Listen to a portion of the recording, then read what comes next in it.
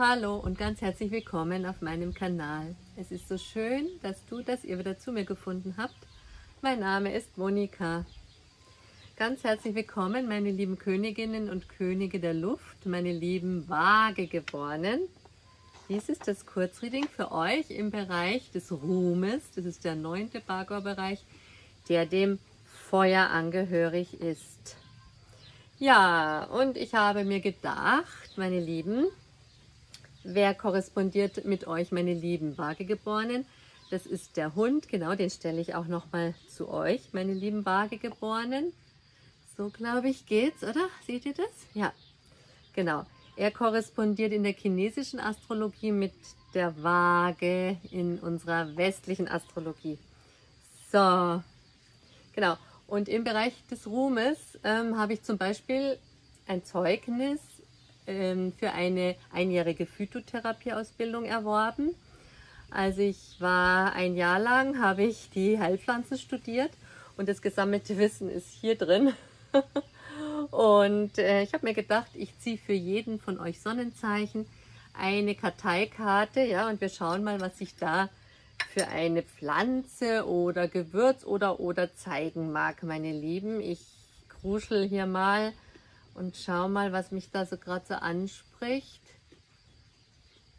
Was spricht mich an? Hier. Oh, eine Doppel, Doppelseite. Oh, Lein. Witzig. Es gibt ja Leinsamen und es gibt Flohsamen und bei den Stieren eben hatte ich den Flohsamen. Ihr habt jetzt den Lein. Leinsamen, ja, es ist was ähnliches. Das finde ich jetzt echt witzig. Hilft ebenfalls. Es ist unglaublich, es ist unglaublich, wirklich. Es ist fast dasselbe Thema. Leinsamen setzt man auch ein bei Verstopfung einerseits oder Durchfall oder Reizdarm. Oder wenn man äh, eben so Abführmittelmissbrauch schon hinter sich hat, ja, dann würde ich dann wirklich mal empfehlen, auf Leinsamen auszuweichen. Ist ebenfalls ein Mucilaginosum, sagt man, ein, ein, ein ähm, Heilmittel mit Schleimstoffen und dieser Schleim, wenn man dann viel Wasser trinkt, quillt auf im Darm, ja, und äh, führt dann dazu, dass der Darm einfach nicht mehr krampft, so wie beim Reizdarm. Ja, da krampft der Darm, weil er nicht genug Wasser hat. Also deswegen ist bei Reizdarm allgemein wichtig das Trinken. Ja, ja Linum usitatissimum, usitatissimum, lateinisch Linum heißt Faser. Mhm. Ein Faser, also Faserstoffe sind da enthalten. Altertümlich handelt es sich hier um den Flachs. Und der Flachs ist einer der ältesten Kulturpflanzen der Welt übrigens. Ja?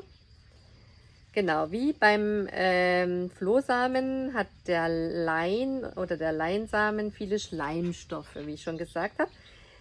Ähm, und zwar wirkt, wirkt äh, der Leinsamen deshalb schleimhautschützend, stuhlregulierend und ist also ein Aufquellmittel bei Verstopfung und führt dadurch zu regelmäßigerem Stuhlgang.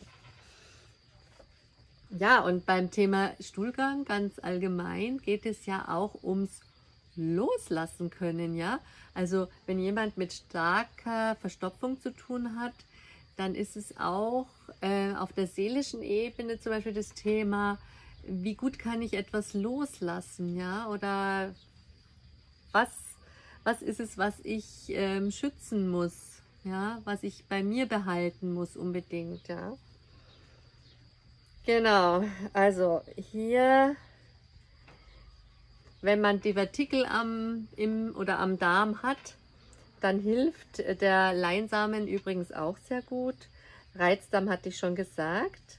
Und rein äußerlich kann man zum Beispiel den Leinsamen äh, verwenden, indem man ähm, ähm, also ihn mit Wasser aufquellen lässt und dann auf die Haut äh, gibt. Zum Beispiel bei der Schuppenflechte hat er eine sehr gute Wirkung. Bei trockenen Ausschlägen und sogar auch bei Gürtelrose würde man eine Auflage mit Leinsamen machen. Ja? Aber man sollte den Leinsamen nicht unbedingt länger als drei Monate einsetzen. Ähm, es gibt alle möglichen Produkte zum Leinsamen. Da muss man nur zu DM gehen und dann findet man Leinsamen. Ähm, genau, es gibt ein paar Kontraindikationen, also Gegenanzeigen, wo man den Leinsamen, wo man da ein bisschen vorsichtig sein soll, nämlich wenn es um Stenosen, also sprich Verengungen im Magen-Darm-Bereich äh, gibt, aber die, äh, das wisst ihr dann, wenn das jemals äh, durch eine Untersuchung festgestellt wurde. Ähm, ja, also macht euch da nicht zu viele Sorgen. Genau, an sich ist Leinsamen und eben Flohsamen eine wunderbare Darmpflege, ja.